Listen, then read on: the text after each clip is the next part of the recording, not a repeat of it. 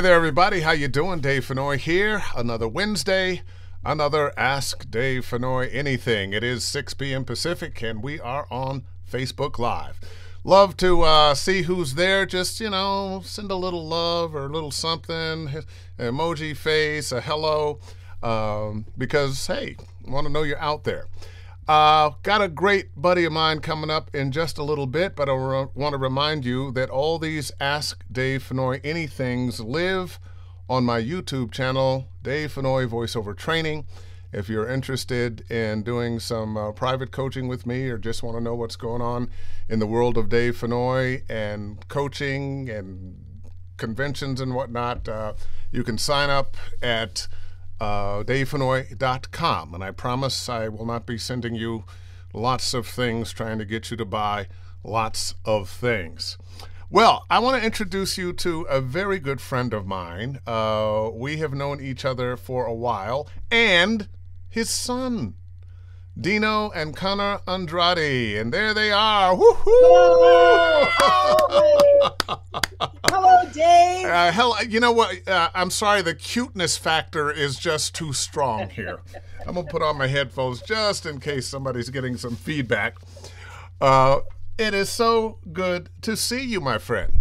It's good to see you too. It's it, it's been a little while, you know, with with COVID separating all of us. Mm. Uh, you know, not uh, not all recording in the same studio as often anymore. Yeah. And uh, and then we keep missing each other with uh, the conventions because I, I, I finally got back to Dragon Con and you weren't there. You I- were at a I was at a different different con. I was at a different convention. But you know what? And probably gonna it's gonna come back to bite me in the butt at some point. But Dragon Con is my favorite con. Yeah, yeah, mine too, mine too. And and uh, I'll Connor's never been there. I'm hoping to take him next year. But Connor was actually uh, one of the guests at this year's San Diego Comic Con. Whoa. So so yeah, he was on the uh, We Baby Bears panel. Uh, well, actually, it was a We Baby Bears panel. It was Cartoon Network panel, where they they pitted casts of uh, Craig of the Creek, um, Teen Titans, uh, and We Baby Bears against each other in a game show format, uh, and the We Baby Bears won. well, clearly that had to be because Connor was on the team. Yeah, it was it was it was a good time. Uh, Connor, what what was that like for you? it was really fun. We like had to hit this button to um, uh, answer the question right, and You mean just like a regular game show? yeah. But the funny thing was, when we won, we got to keep the we got to keep the buttons. There was Ah! six on the team, me, um, and the two other cast members, the main cast from We Baby Bears, Uh, Amari McCoy and, and Max Mitchell, and Max Mitchell. Okay. and we all got to keep the buttons. So There's you only one button on our team, and um, I'm blanking on her name. So did- Amari, did- so- um, you didn't get the button? Oh, I got the button, but Amari got the button we actually used. Ah. I me and Max, uh, we both got the buttons from the other teams. So I, I don't know if you're like me, but back behind me and in my booth over here, uh, I've got all kind of paraphernalia and pictures and trophies and awards and whatnot from my career. So is that the first? Is that the beginning of your uh, trophy collection? Maybe. Uh, kinda. Uh, one of the big things that Connor did uh, a while ago, uh, directed by Colette Sunderman, which was wonderful, was he got to be uh, Toddler Groot for Spider-Man Maximum Venom. So we do have a lot of, of Groot statues. Oh, there you go. So, as as uh, baby Groot there or Spider-Man Groot, uh, did you remember your lines? Yes. Go Well, ahead. yeah, go Yeah, go ahead. Oh, no, right now. Oh. Go for it. Hmm, I don't know. These are kind of complicated. I don't know if I remember. Go ahead, son.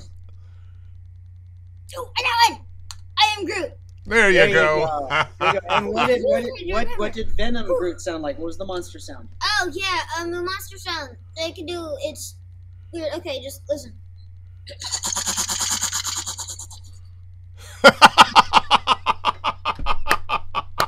Love it. I love it. All right, And- we're And, and this is why when we started, it was I'm voice actor Dino Andrade, and this is Dino Andrade's son. Now it's this is voice actor Connor Andrade, and I'm Connor Andrade's dad. Oh yeah,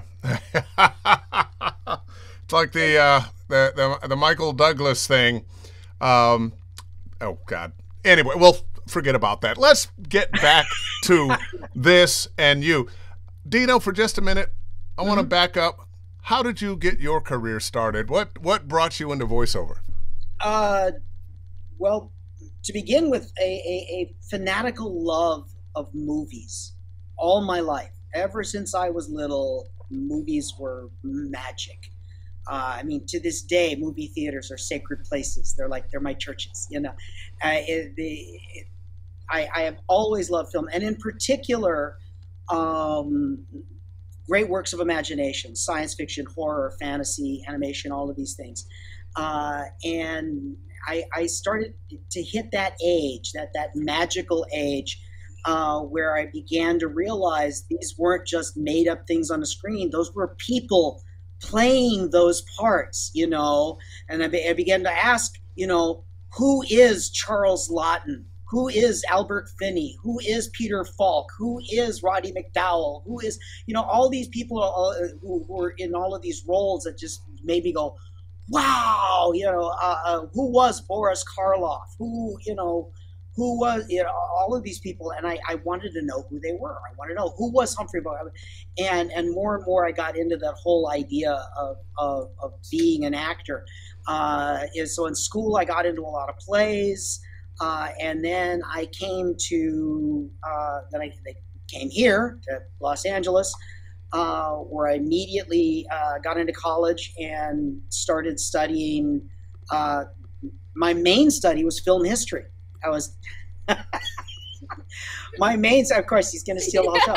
My main study was film history, and uh, as as well as film, and and my in was through sound work. I started uh, working for uh, a post production sound company. It was uh, Ryder Sound Services. Uh, and I was uh, actually learning Foley work, where you're doing sound effects Oh yeah, and background. yeah. And uh, one of the films that I was working on was the Steve Miner horror film House. In uh, 1984, we were working on it, and I wound up doing some voices on that. These uh, these little critters. There's and and that became my in was through voiceover, and then that led into getting into uh, on camera work. Uh, I started doing a lot of training. I went through the, the Groundlings program. I was being trained in, in Meisner technique under Judith Weston. Uh, I before I knew it, I, I, had an agent. I was doing commercials for McDonald's, uh, Delta Airlines.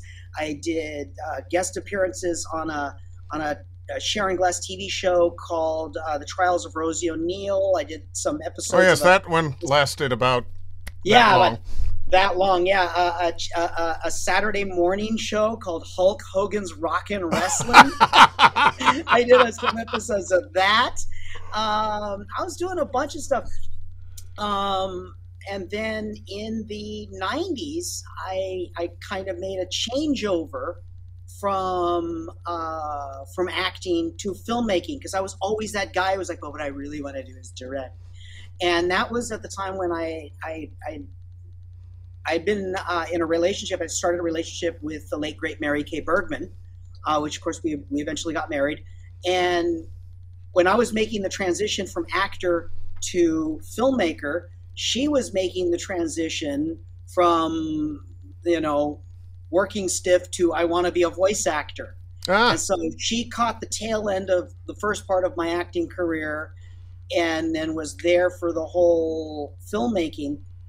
And even though she was incredibly supportive of the 10 years I was pursuing filmmaking, she knew and could see how soul crushing it was because 90% of what I was doing was trying to get money Yeah. you know instead of creating art and it was it was killing me and she always wanted me to return to acting she always did uh, she would get figurines every time I would imitate a character or something to kind of try and get me into it. Like, you know, how do Daffy Duck? You know, you're despicable, right? Next thing I know, she's got a Daffy Duck figurine for me. You know, trying very much to get me to, to go back to it.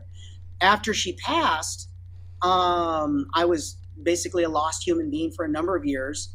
Uh, and then I decided it was time to get back into the business. And I thought since the last thing I was doing was filmmaking, uh, maybe I could try writing. And I heard that there was a show, uh, I believe it was called Vampire Princess, an anime show that was looking for writers. And I was given a phone number. I contacted what I thought was the producers. I have, I wound up reaching somebody uh, uh, uh, else in the production company who was connected to a show called Saint Tail, and they thought I was calling to set up an audition. And, uh, and when they said, I said, yes, that's what I'm doing. So I auditioned and I got a part on the show. And I thought, okay, I, okay, Mary Kay, I got the message. And two two and things so, there. Yeah, say so say went- say yes, Uh huh. and you don't know how your blessing is coming. You don't know. You do not know. So I rededicated myself at that point to to being an actor. I went I went back. I did not rely on the fact that I had already done all this training with the Groundlings and Meisner and so on, because that had been ten years previous. So I went back to training. And I, I was uh, I trained with with with uh, Ginny McSwain, Susan Blue, Bob Bergen, all these wonderful, wonderful people. Um, as I'm trying to get my head back in shape after you know what I'd gone through with all that. Uh, and I've, I've been an actor ever since. And, you know, and Mary Kay was right. She was absolutely right. Uh, and then X number of years later, I run into uh, my ex high school sweetheart I hadn't seen in 27 years. And uh, she was the one that actually stepped into my life, my Casey, and mended what was still my shattered heart and my still messed up head from the loss of Mary Kay, and uh, we wound up. We had Connor. Yay! We had Connor, and in fact, uh, Casey and I did not get married right away because you know, there was a lot of estate issues having to do with Mary Kay and so on. We finally did get married, and when we did, Connor was my best man, and we got we got married on Halloween. So wait, And wait a minute, wait a minute. our Con- anniversary's coming up. Connor, did you wear a tux? No, I wore a bat- Lego Batman costume because it was Yep. Halloween and I was like eight. You know what was I thinking? Of Yep. course, that makes perfect sense. Yes, yes, Well- yes. Casey well, and I were in full Irish Gothic, lots of purple and black. And then there was Lego yeah, be- Batman. because Lego An- Batman because my best. Andrade is is such an Irish name. Well, you know, what, Casey Keeney. what can you say? There, There's what can you say? Okay, There's now so Dino, I, we, now we got your story, Mhm. but Connor, how did you get into voiceover? I know you probably had a little bit of help from your dad. Um, what what? How did he get you going? Well, there was this um French thing, was it? Mhm. Yeah, It was uh, called co- Sam cartoon. Sam. They made the cartoon, and then like you can watch it on YouTube. It was like uh, then they made it in English, and so they made a movie about it. Hmm, New people are here. I'm looking up at the viewer count. Anyway, as I was saying, new Sam Sam thing, whatever, and then they made a movie on it. And Dad was the big bad guy. He was this Martian. Yes, I was. dude. I was the bad guy in the movie. And so I just decided, uh, we just decided that I would audition for the uh, character of the Martian's kid, who's actually the friend of the main character. So And so wait, whoa, whoa, whoa, whoa, whoa, whoa. So uh, was this your idea or your dad's idea? Yeah, no, this was the idea of the producers and director who had worked with me on a previous film um, that I did that was also released in Europe, a film called Spycies that I did with Kirk Thornton. Wonderful, wonderful guy. And I know Kirk. uh, yeah, Kirk. Yeah. So we we did that movie, and they were telling me that they wanted to do this other film, Sam Sam, and they were considering me for the villain, and they had seen uh, a number of uh, playful videos that I had made, jokey videos that I'd made with Connor on YouTube, and they Ah. asked me at the Spicy session. We're going to be doing this thing called Sam Sam. Would you be okay with Connor auditioning for a part in the movie? and that and and that, that's how that that's how that happened. I asked Connor, "Do you would you be okay with that idea?" And uh, he was, and audition, and and we uh, I asked uh, uh, Atlas Talent um, if they would represent Connor for this if if they got it. They said. Yes, but understand that this would be just a um, this would be a favor to you. He would not be an official client of Atlas. He would just be a uh, you know freelancer. And at the audition, he had his callback for Sam Sam. I recorded the callback, and they were having him do all kinds of extraordinary things in the callback.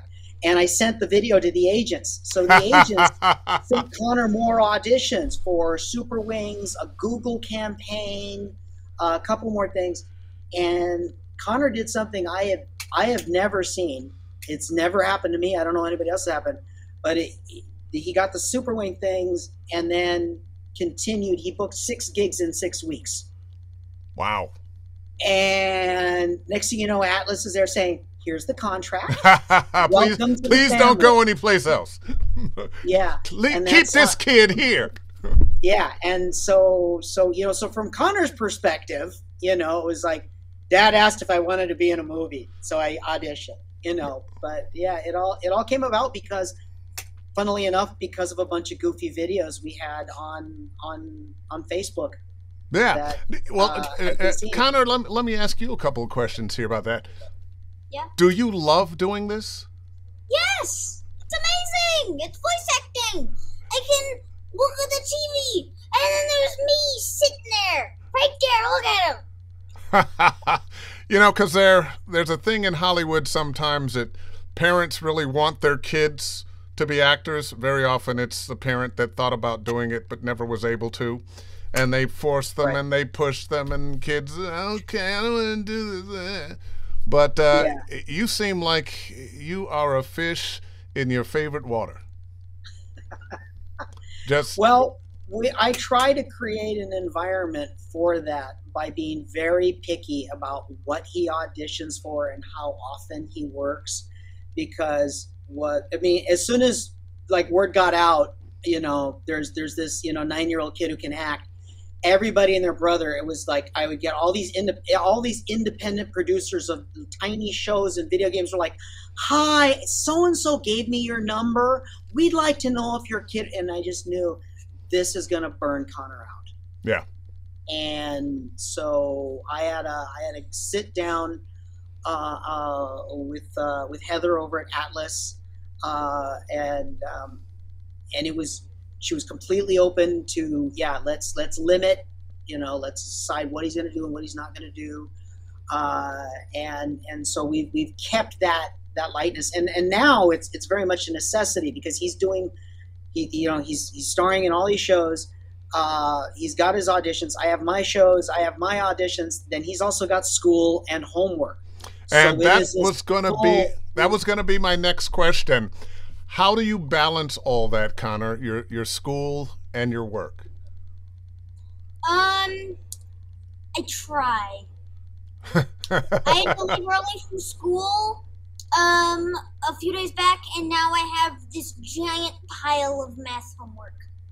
Oh, I was so not. We, I was not a fan of math when I was in school history, English, all that stuff. Great. The humanities, math. Yep. Uh, blah, blah, blah, well, that was that, me too. That was me too.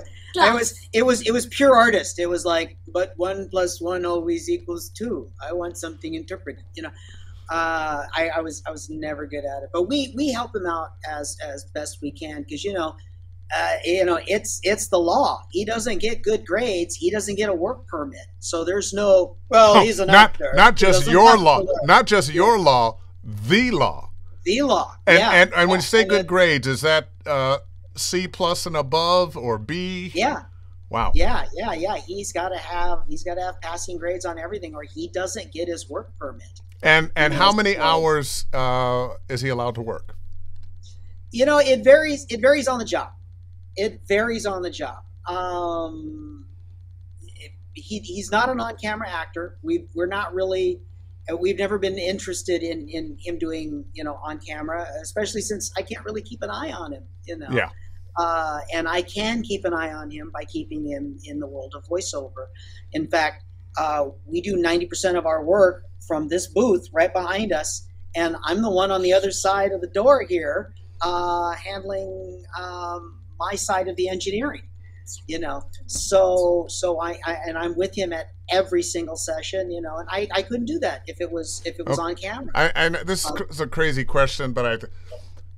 How often, you know, what do you have your own high chair, or do, do you have a table that goes up and down? How do you how do you handle Oh, the I'll height difference. I'll, between sh- you I'll show you something sneaky. If you look up, can you see the boom arm? oh yeah, that'll come way down. That is, yeah, yeah. That is actually three telescoping boom arms that I just connected end to end to end, so that I can maneuver it in all kinds of different positions to suit my height and Connor's. That was not designed that way.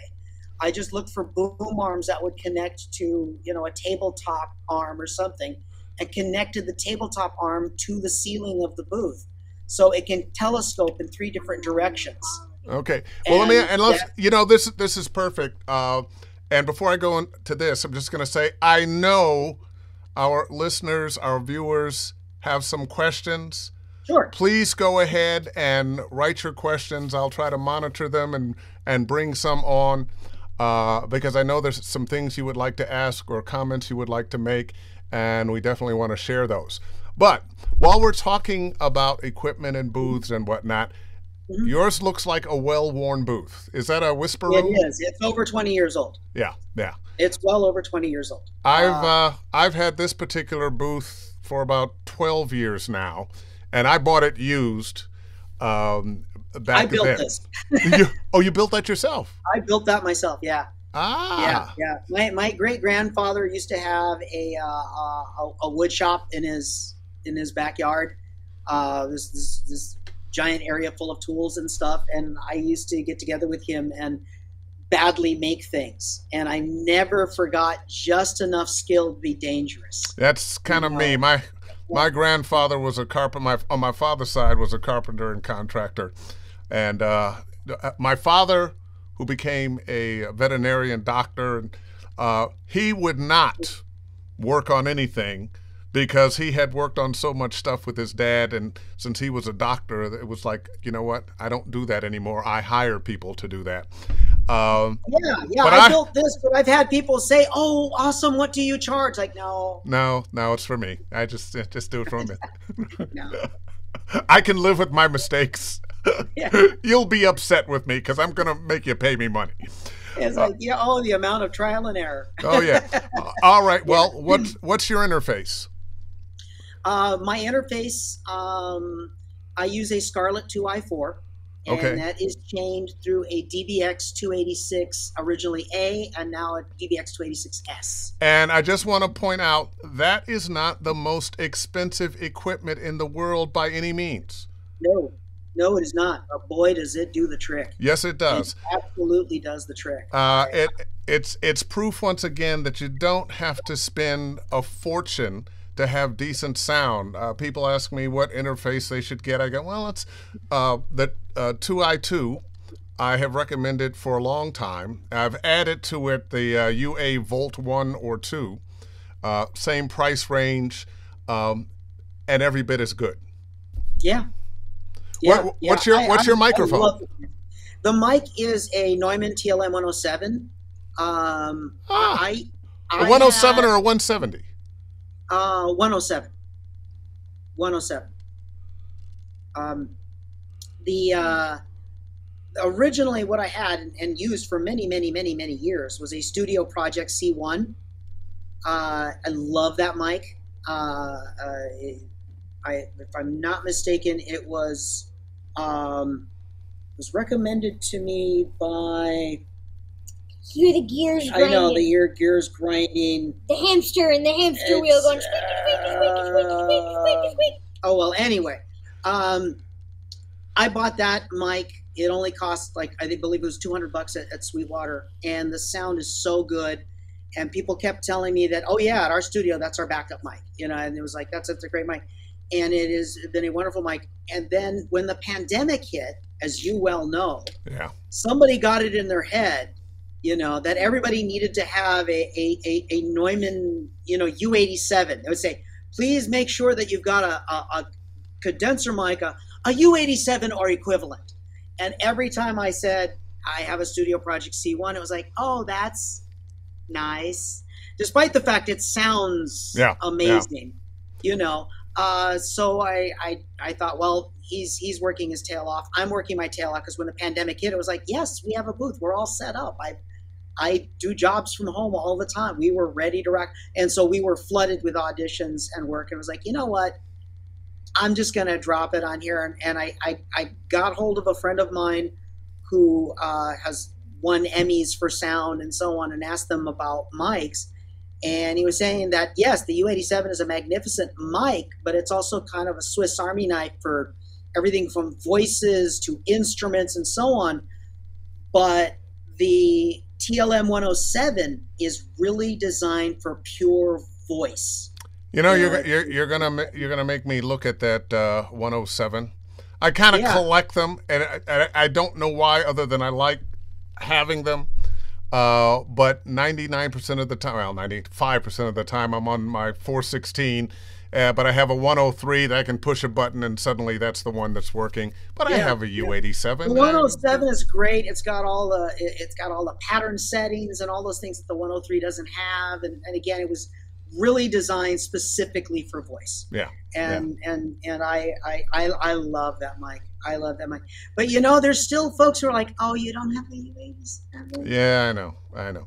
But their their U87's like a big room, uh, and in a big studio they do very well, and they will work across a lot of instruments and situations. Uh, where the 103, the 416, and obviously uh, your 107 uh, is doing just what it needs to do.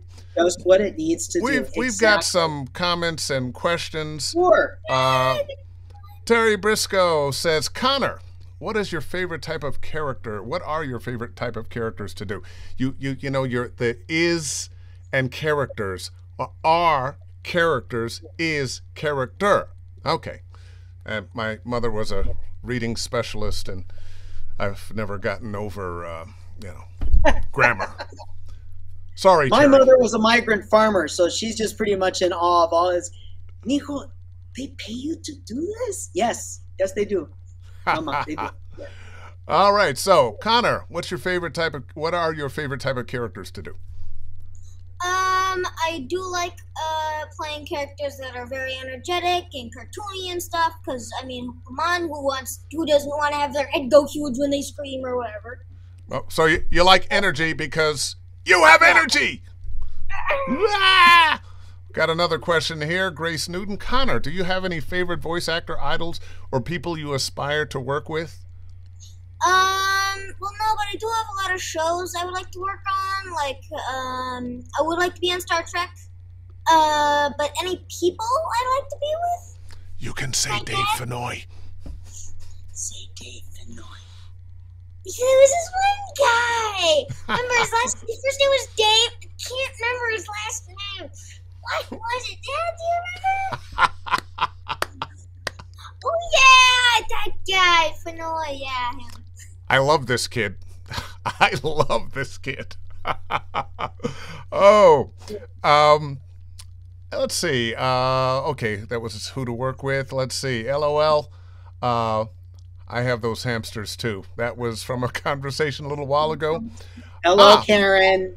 An old dear friend of mine that I've known since the 80s, Talaya Trigueros.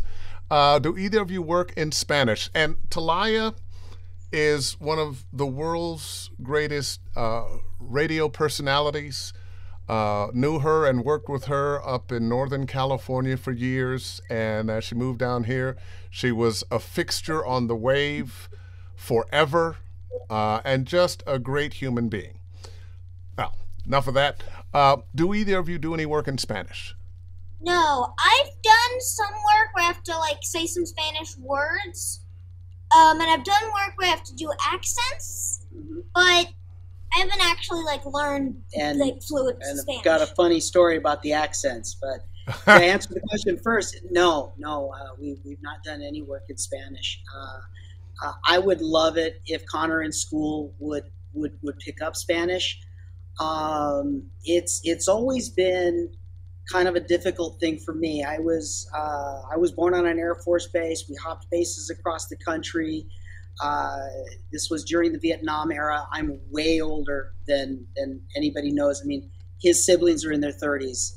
Uh, I, I was born in '63, and our parents were born in the 40s and went through a lot of serious, uh, serious bigotry, prejudice. They, they went through a lot of, uh, of stuff. And so it was very much in our household.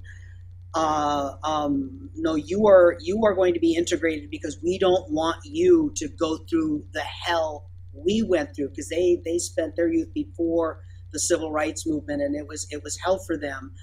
Uh, so Spanish was not spoken out. So for a lot of uh, Mexican Americans uh, who are my age, I mean, I'm I'm going to be 59 years old in two days.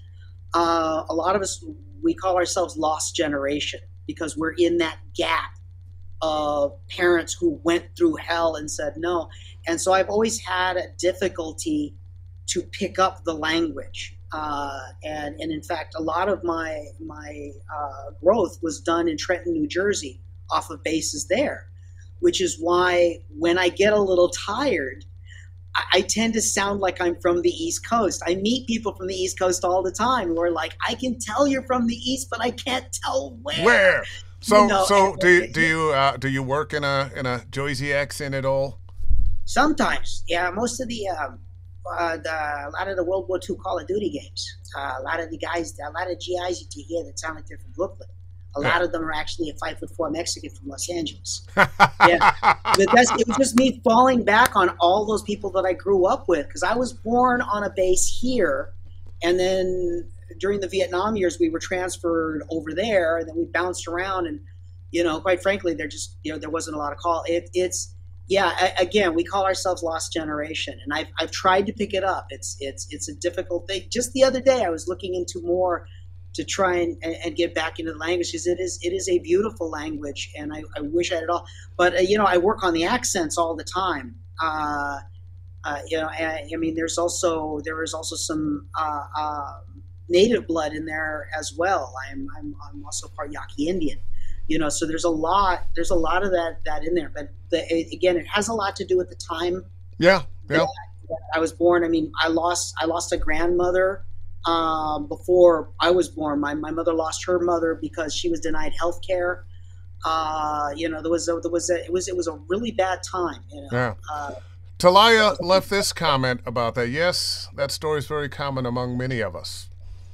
yeah. Well, you know, uh, I want to bring up something that might be a little controversial. I noticed on your resume that you played Spe- uh, Speedy Gonzalez. Yes. Yes. Now, I remember Yes. watching Speedy Gonzalez uh, back in the day when I was a kid, and somewhere along the way, uh, Speedy Gonzalez became politically incorrect.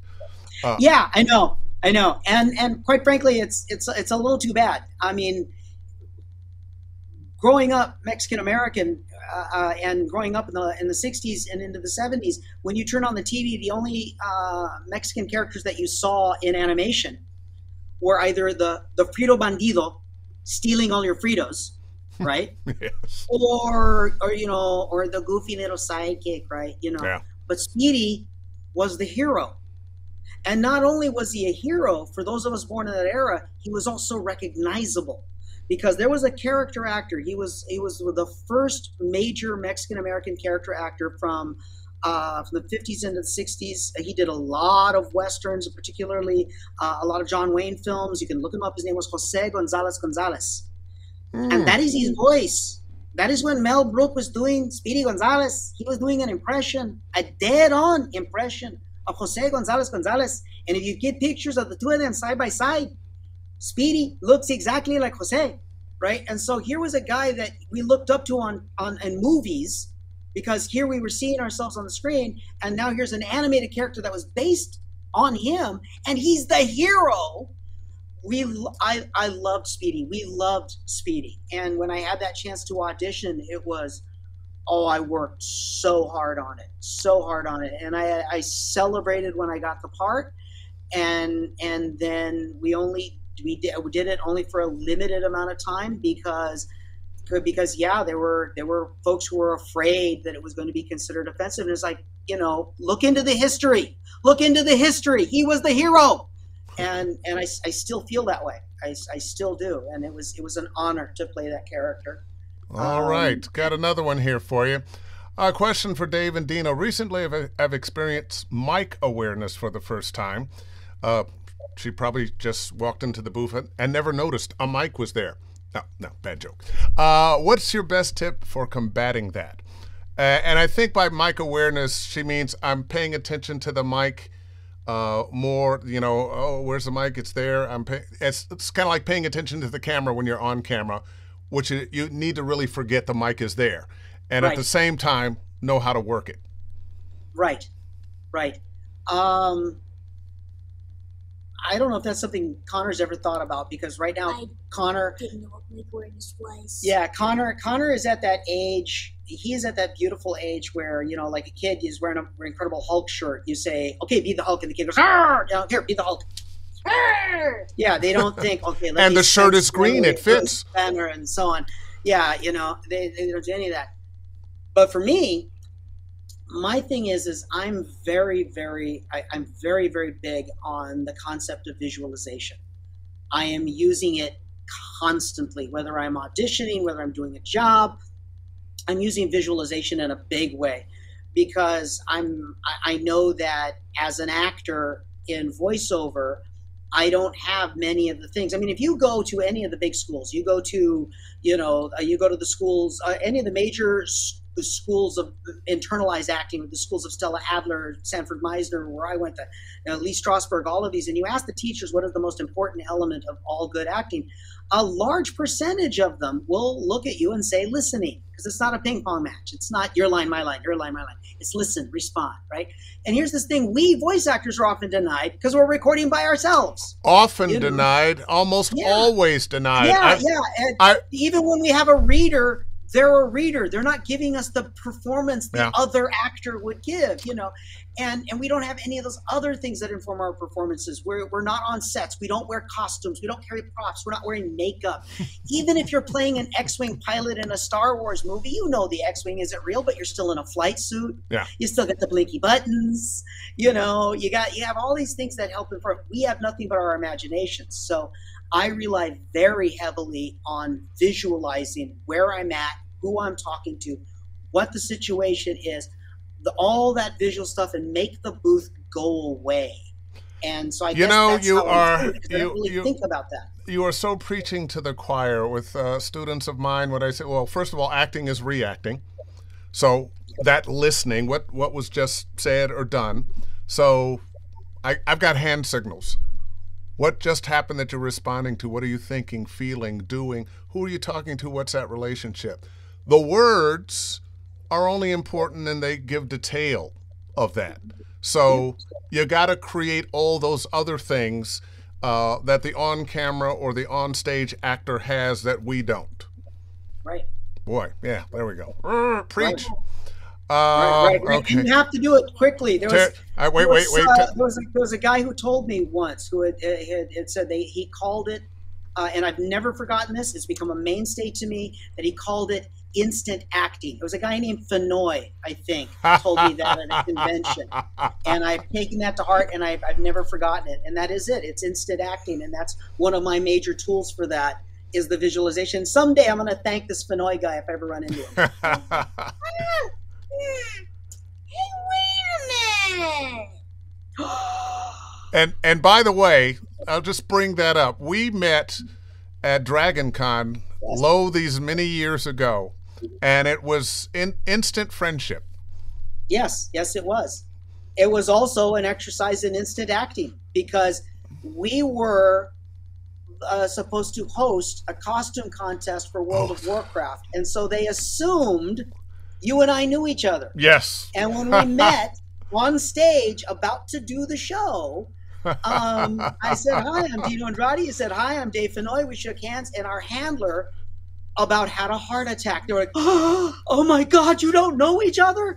You're on in two minutes!" And both of us were like, "We got, Yeah, we got this. we got this." Uh, that- and we did this show like you and I had known each other for 20 years. yeah, yeah.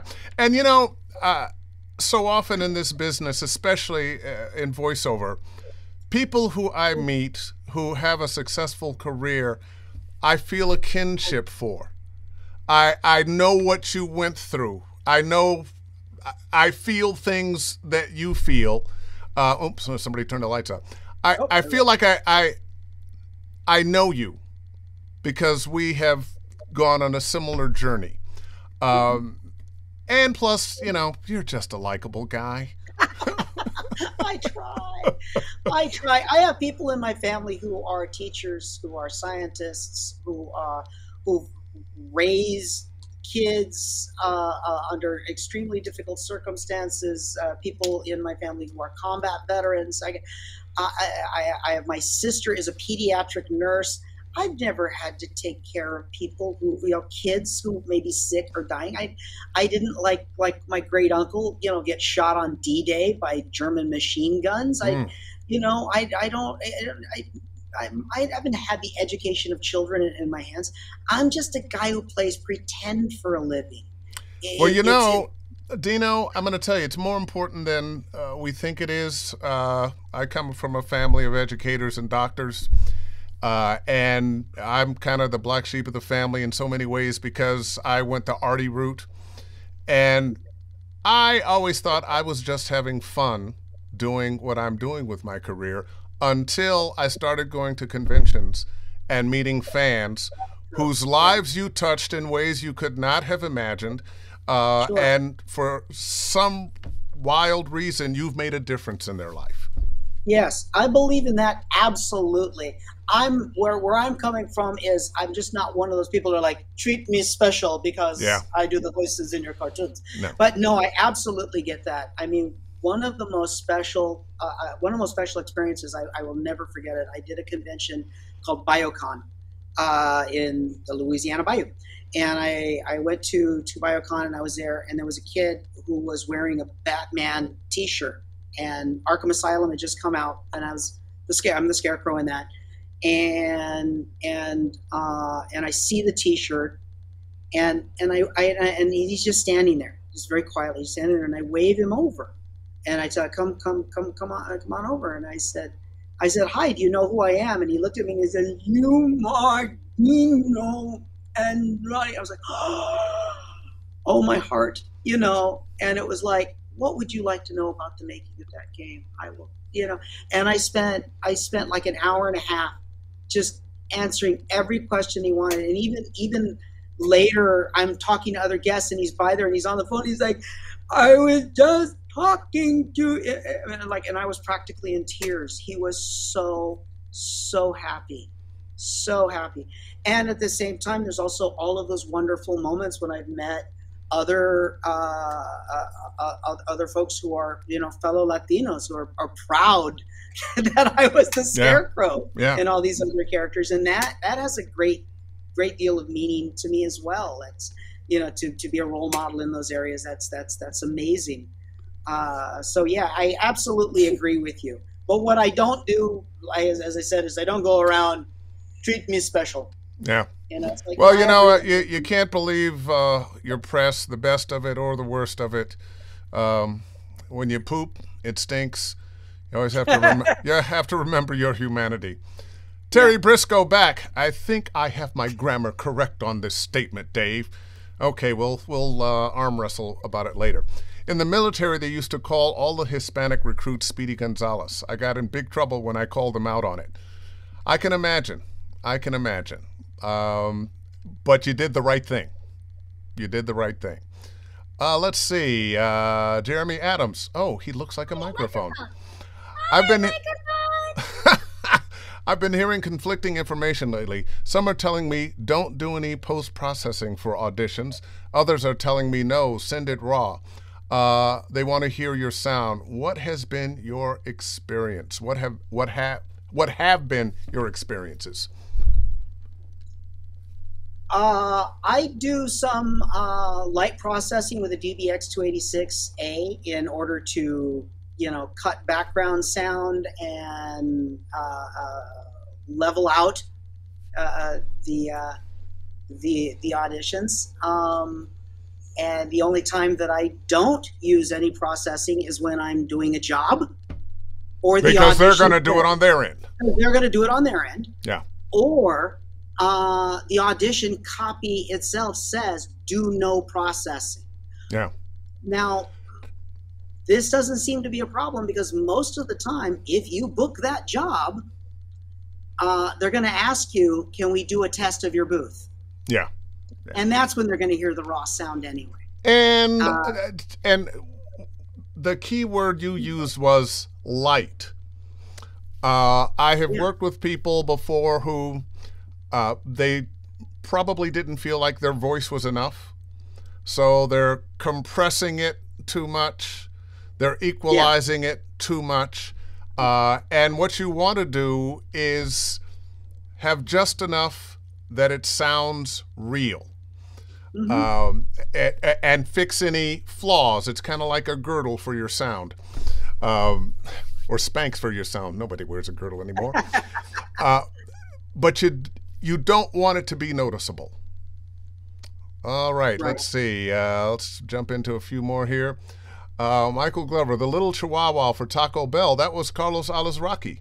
yes, it was. Uh, they cut for politically incorrect. Um, ah, Talaya again. Visualization. Good. And let's see. That's been my secret weapon since 1985. Uh, Cameron McEwen, uh, the both of you ought to reprise your roles in the World of Warcraft animated TV series. Are they making an animated TV series? I was not aware of that. I was not aware of that either. I did not know there was. Well, you know, I, I've been in the cast of Warcraft for about 14 years, which I think, yeah, we've been on that game about too. the same amount of time. yeah, yeah. And I have a bone to pick with Blizzard and World of Warcraft. When they made the movie, they should have just used the actors from the game, done have it look exactly like what they had. It was wonderful, and they would have had a built-in audience, and that movie would have made gazillions. Yep, I could not agree with you more. That uh, that really pissed me off. Um, let's see, Terry. I heard of this Fennoy guy. Yeah, I've I've I've heard he's wonderful. Um, ah, okay, I met that Fennoy guy. I should pre-read these. Um, Um, yeah, you. Cheese number one. And then I get taste number. Uh, Apa itu tempat itu baju baju double. Kokekechanta te parito totite. Toshida Toshida to. Pa. Te chati katte patro tatamba. Tatamba. Tatamba. Pa. Pa kala po. Achai che c'è trance. Bravo, bravo, dai, dozi chuma. Uskos kan trance te. Ja, ja, ja, dat is mama. Rico to pa dojo bapo. Ko rishu gababu to? Kovavato. Oh. Ah. We better we better get back to English here. We we We might started- lose our We audience. actually started. We actually started doing this because I did a, a game called Star Blood Arena where I had to speak in in alien gibberish, and I asked Connor to help me with it, and he picked it up. It was one of the first times I realized this kid might be an actor, you know, because he just picked right up on it. And that's that's that kind of gibberish is the kind of thing I've I've done. If you saw the movie, uh, if you saw Dune, in the Salusa Secunda sequence, where uh, there's the throat singer uh, singing in in in, in the, this, the, the Secundan language and so on. Uh, that was done by singer Michael Geiger, uh, and Hans Zimmer asked him to sing uh, in in alien gibberish, basically, and then they would pepper in spe- specific words like Harkonnen and some of these things. Uh, but he did not know how to do that, so he it was decided to hire uh, someone to come in and coach him on singing in uh, gibberish. I'm the guy they hired. Oh, bravo! Yeah. So you are officially a consultant. Yes, I'm officially a consultant. Yes. Hey Dad, I have homework to do, and I have officially done the alien gibberish bit that we always do live on camera. So I must go. to Whoa, whoa, whoa. got to go back to his homework. Dino, go do your homework, man. It was So a you pleasure. me- you got me for the last ten minutes or so. Yeah. I may occasionally pop in though. he probably will He jump in. He'll probably hear something he wants to talk about and jump in. You know, um, he is such a delightful young man. Oh, I I honestly feel there's there's two things that really have happened since since Connor was born. Uh, one is I I feel like I'm raising my best friend, you know, uh, which is which is an, a, an amazing feeling. Uh, the other is is I, I spent all of my life believing that my destiny, my destiny, was to be either a filmmaker, an actor, or an actor filmmaker. You know, one of the combinations. This is what I was meant to be. Yeah. Right. You know, like so many of us, this is what I mean. What I have come to discover and gladly and happily accept is that being an actor is what I do. What I was always meant to be was a father.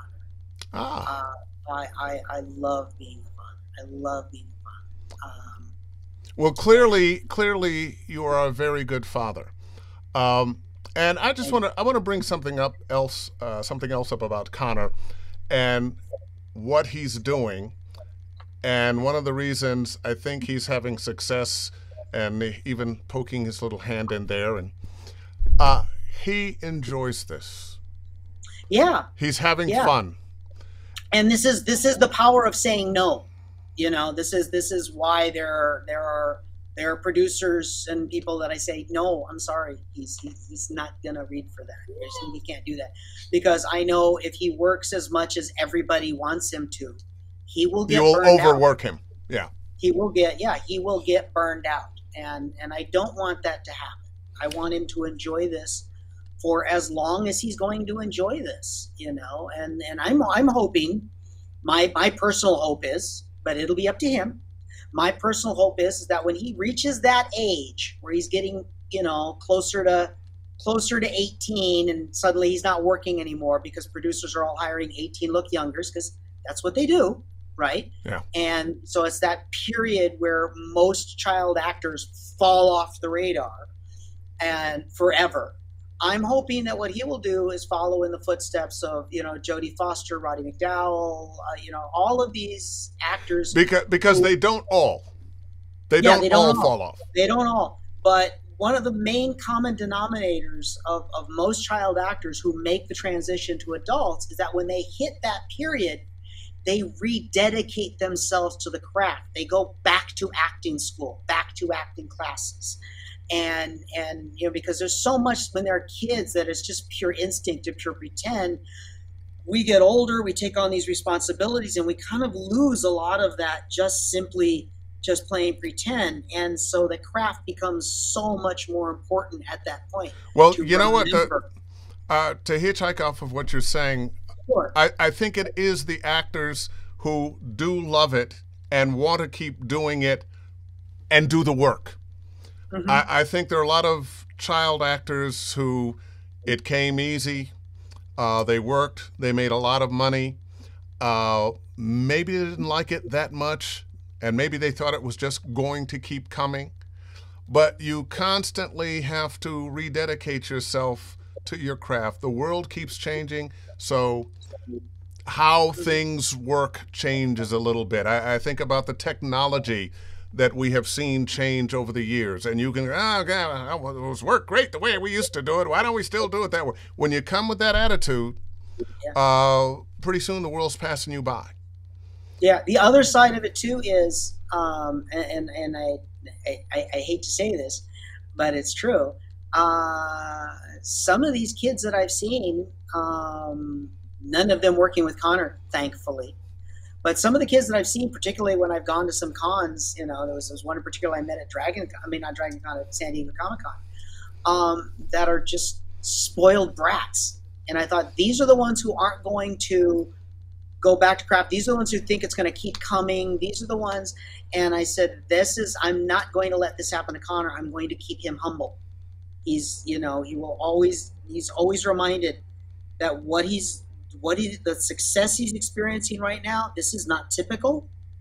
This is something not to take for granted at all. Be thankful for it.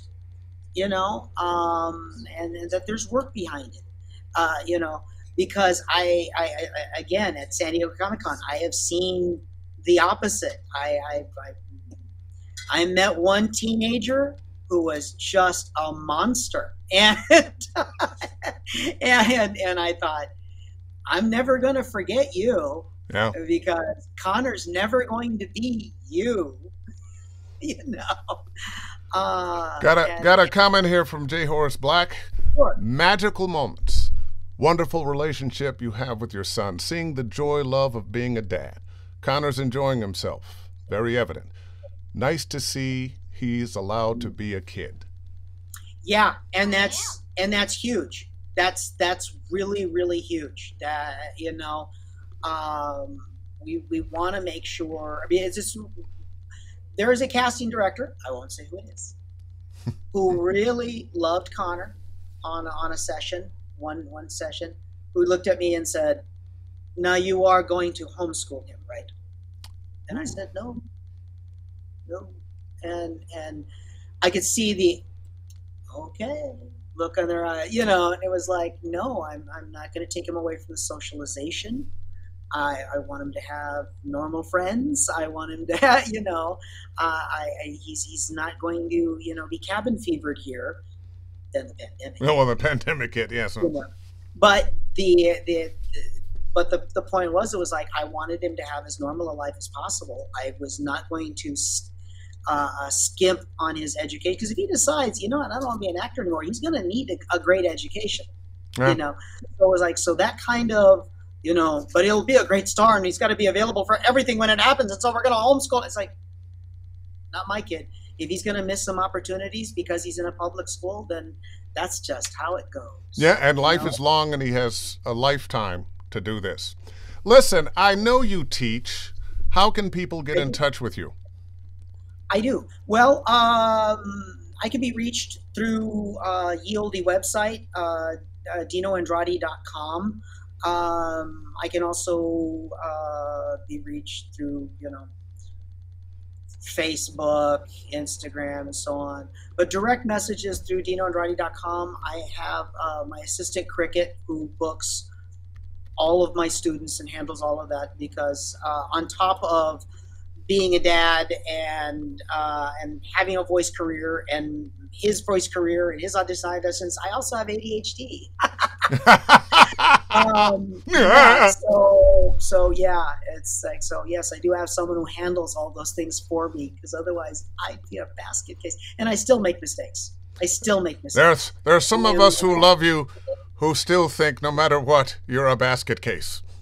Yeah, yeah, it's true, and and you know, and, and in fact, one of the valuable lessons that I learned from Harvey Kalmanson was when you make a mistake, you be a professional about it. So you know, uh, I, I, I, I, Connor actually missed a session because of a, uh, I, I, it was something that he hadn't done throughout the entire summer, and summer was over, and so I had alarms that I had set before the summer, and I didn't set those alarms, and he missed that first session, and I just, hey, my bad, I did it, not making excuses, not blaming anybody else, but you know, but me, I own it, and so on, and it was just, you know, you just you just have to. So I I I tell people, a lot of times professionalism isn't just doing everything right the first time because to me a lot of that isn't as much professionalism as it is common sense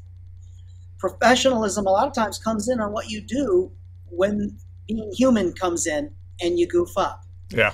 and so the number one rule for me is own it don't make excuses don't blame somebody else you know Oh, you need to go Uh, into I politics.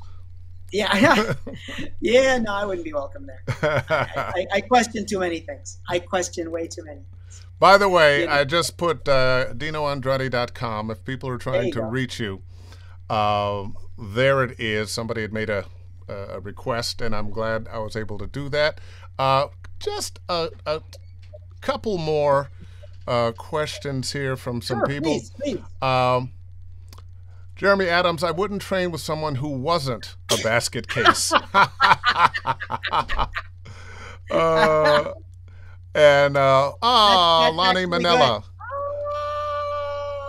Oh, Lani- I love Lani.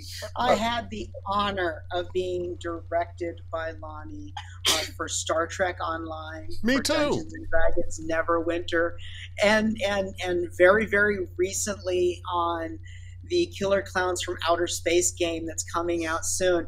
Which she sent me like videos and stuff for me to post, and I haven't done it yet because again. I'm a full time dad and a full time the kid, and that this, and we're just. Yeah, and, and and I I- will, I'm- I will, Lani. I will. I love you, Lani.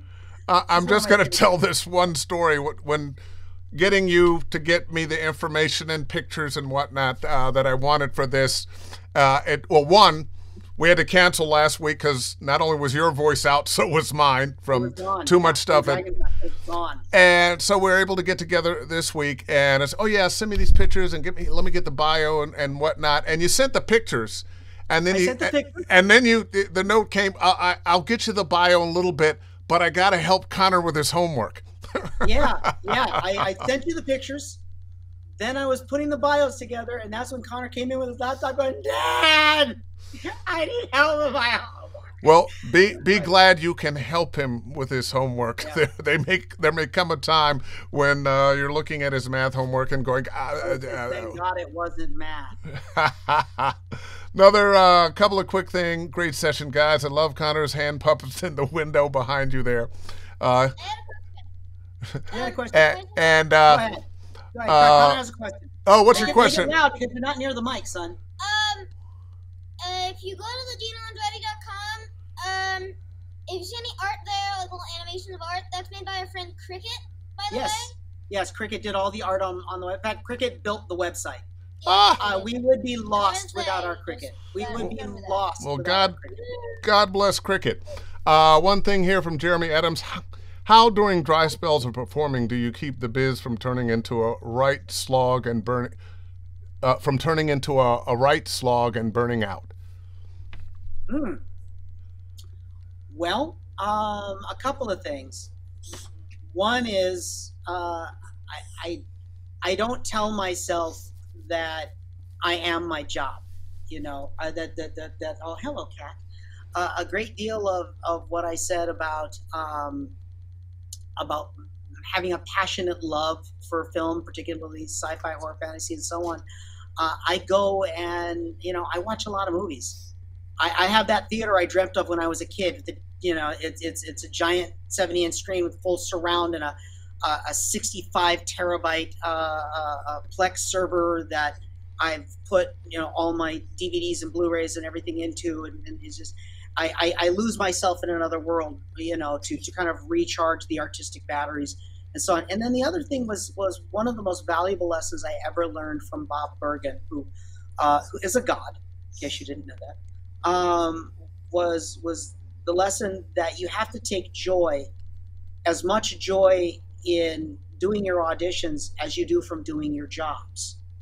You know, you can't just say I'm really having fun when I'm working but the auditions are just it's like no i have to get in that booth when i've got an audition in front of me and have fun doing that audition Have the same fun Yeah. doing the audition as you would on the job. exactly you have to get the same joy out of it because you're still performing you're still acting you're still doing something that that other people dream of you know and i'm doing it you know i had i had a bunch of auditions that came in and really it's, it's not a humble brag it really isn't. And because of connor and his homework and everything i didn't get to them till quite late. And so i was up very late working on them and i'm thinking i'm not going to get any sleep tomorrow but you know what? I'm doing these cool things. And bob's words came back to me right? And so that's a big part of it is just understanding that i need to be taking joy in every step of it. I have always said that when you get paid for a job that money that you're making is paying for all that downtime it is paying for those auditions paying for all of that not for the job itself because that you would do for pure joy Absolutely. because that's what we love doing right Absolutely. Absolutely. We we we do it for free, but don't tell anybody. Don't tell anybody. Because money is a thing. Those other things do need to get paid for. Yeah, that's Yeah. right. Hey, listen, Dino, thank you so much. Uh, this has been a joy. One of my great joys is doing this and being able to sit around and talk with friends of mine. And I mean, you and I know each other. Sometimes it's somebody that I really don't know that well, but I know of. Uh, and it's still We've always gone still- out to dinner a few times. Yeah, know? absolutely, absolutely. And And and we're going to do it again.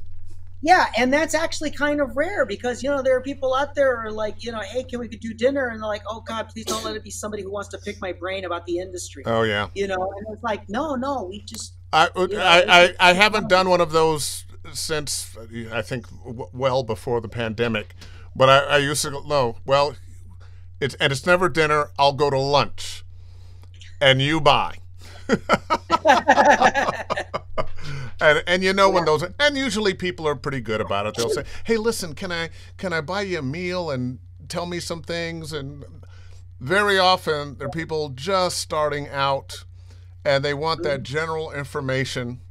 Happy to do it, uh, but yeah, every now and then you get that person that that you know, six Yeah, months I- I later, have- a week, a call every week. Can I take you out to dinner again, or take you out to lunch again? Uh, we could get burgers this time. Yeah, yeah, and Con- Connor Connor is my great excuse in that area because everybody knows it's real. He has to go to school. He has homework. He has auditions. He has jobs, and I have jobs, and I have I have no time. Yeah, you have I no have time. no time. I hear you. I have no time. Well, listen, I'm gonna let you get back to it because I got dinner waiting on me upstairs, and I'm gonna go up go. and eat. And but Dino Dave, and and. Connor, if you can hear this, this applause is for you as well. Oh, there he is. Thank you so much, my friend, and let's get together sometime Absolutely. soon, and we'll bring Connor, so we'll be babysitters. That would be great. We could. uh, He would love that. He would absolutely love that. And we will try desperately, you and I, to get a word in. Yeah, Edgewise. yeah. There you go. Yeah. All right. See you soon, my friend. Take care. Thank you. It's been an honor. All right.